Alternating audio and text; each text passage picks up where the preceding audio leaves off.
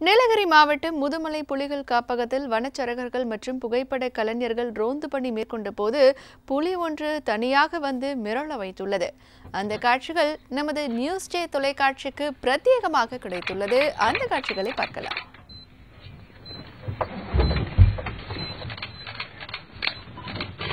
No plus. No plus.